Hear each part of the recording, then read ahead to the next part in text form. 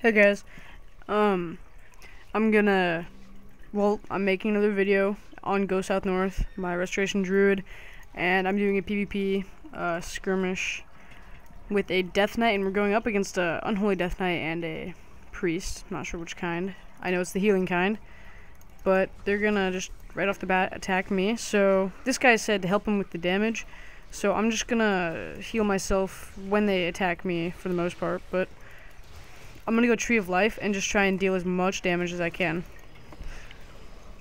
While also staying alive. Okay, I'm getting a lot of lag for some reason. Hmm. This is bad. If this... Okay.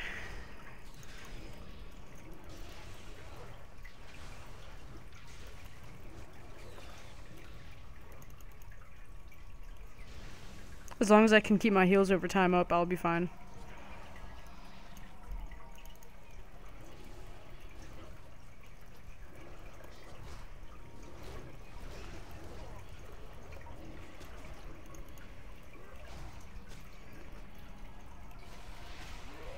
Alright, so we got the priest? Yeah.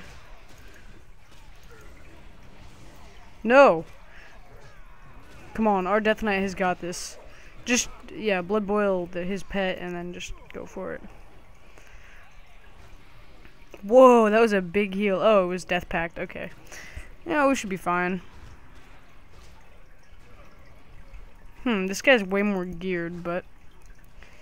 Oh, he's really tanking it for... Uh, Unholy. Just keep using Death Strike. I don't even... Yeah, he is. Okay, this is kind of scary. Alright, nice job. That was pretty close. Alright. Um, I have to check the sound and see if I did a little bit better on this video. I was working on that earlier, but thanks for watching. Don't forget to like and subscribe if you want to see more videos.